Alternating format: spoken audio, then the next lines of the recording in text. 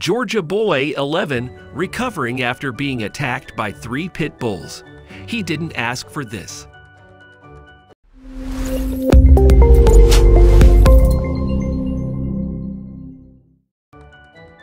The dogs set upon Justin Gilstrap on Friday as he rode his bike in a Georgia neighborhood.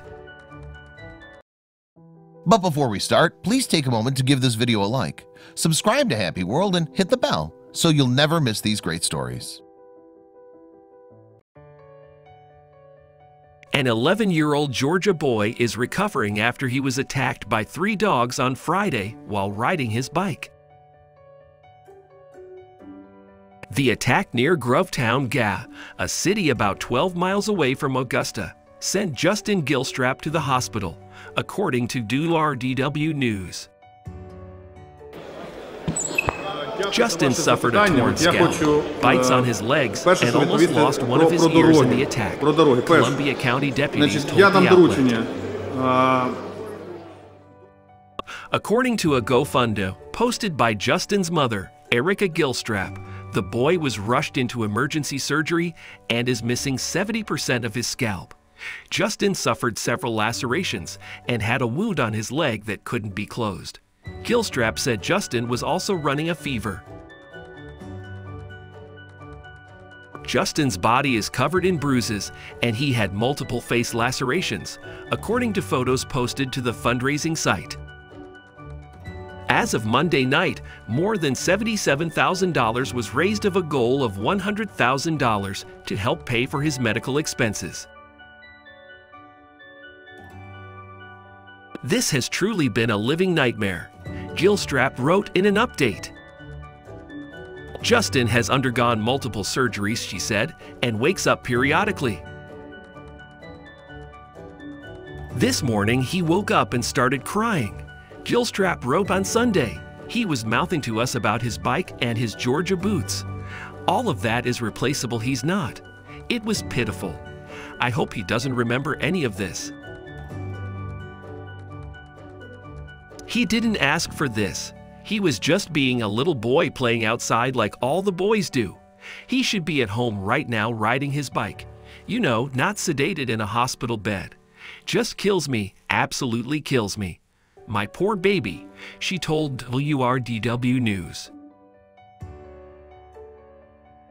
On Monday, Gilstrap said on Facebook that her son wanted to watch the Georgia Bulldogs take on the TCU Horned Frogs as they battled during the College Football Playoff National Championship. Although he can't watch it, just know he's still rooting for them. Go Dogs! Hashtag JustinTough, she wrote. Justin's attack was discovered by his 11 year old cousin, who found him injured and called 911, WRDW News reported. Bert Baker II arrived on scene and allegedly admitted that the dogs were his and later stated they liked to chase people on bicycles, according to a statement by the sheriff's office provided to the Augusta Press. Baker, 26, was arrested for reckless conduct on Friday and has since been released on bond, according to WCSC News. The sad thing is we have reported these dogs several times before. Columbia County did nothing. It's sad it took this for them to finally do something. Gilstrap wrote on the fundraising website.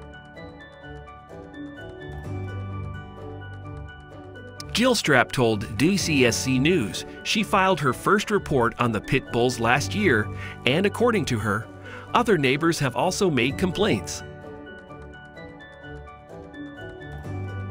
The Columbia Board of Commissioners released a statement to WCSC indicating Animal Services have dealt with the owner and his dogs on prior occasions, but that they were unaware they were aggressive toward humans.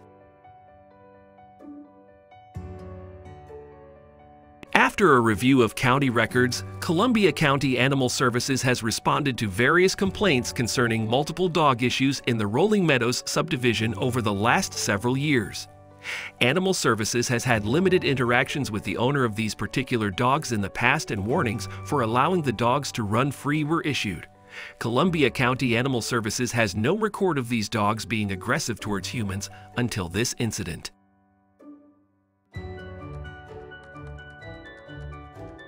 It's unclear if Baker has an attorney who can comment on his behalf.